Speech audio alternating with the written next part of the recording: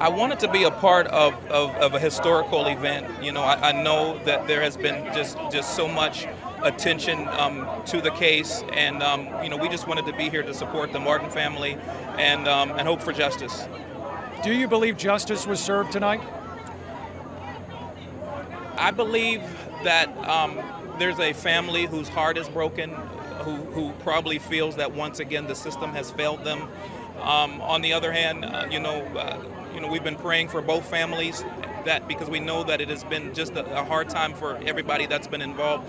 But as far as justice, personally, I think that the system um, failed the Martin family.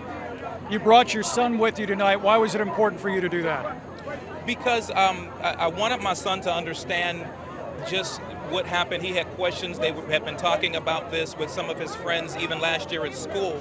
And, uh, um, you know, and I'm a father. I have a son who's African American. And, and, you know, I, I could just uh, imagine what Trayvon Martin's father can I ask you feels like. Yes, you can. What do you think about all this? I think that they did the right thing. I mean, that I think that he should have went to jail. Why was this case important to you? Because because I wanted um so I wanted um to be a part of the I wanted to be a part of this and I and I wanted justice. My Twitter feed is